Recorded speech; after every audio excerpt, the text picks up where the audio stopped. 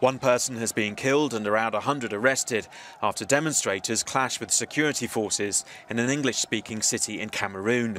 The protests arose out of strikes by both teachers and lawyers who say French is now dominating schools and courtrooms in Bamenda. Some protesters also blame France, which used to rule Cameroon as a colony. What we want is for France to back off. They should leave our own system. We have a proper means to organize our educational system. We have proper means of our health system. It's a time for freedom. Cameroon has 10 regions. Eight of them speak mainly French and two mainly English, and that mirrors the country's colonial history.